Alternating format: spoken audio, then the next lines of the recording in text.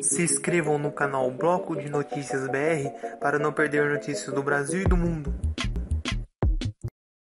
A cantora Joelma emocionou os fãs ao participar do programa Encontro.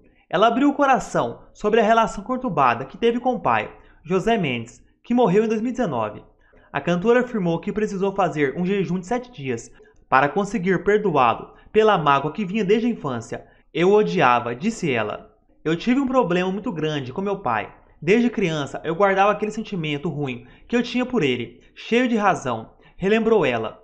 O pai da artista saiu de casa quando ela tinha apenas sete anos de idade e deixou a mãe, Maria José, cuidando de sete filhos sozinha.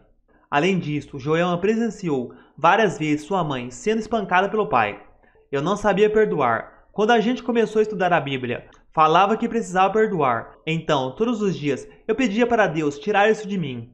A artista afirmou que aos poucos a mágoa que sentia do pai foi passando e que sentiu que deveria pedir desculpas para ele.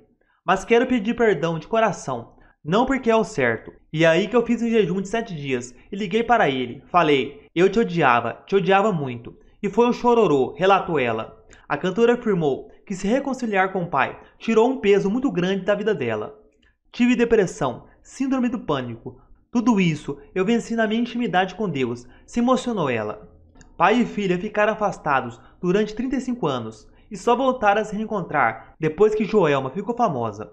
A minha trajetória com a sua vida, meu pai, proporcionou a lição mais libertadora, o perdão, experiência que me preparou para as piores situações e contribuiu para que meu coração se transformasse, disse ela na época, ao anunciar a morte de José nas redes sociais.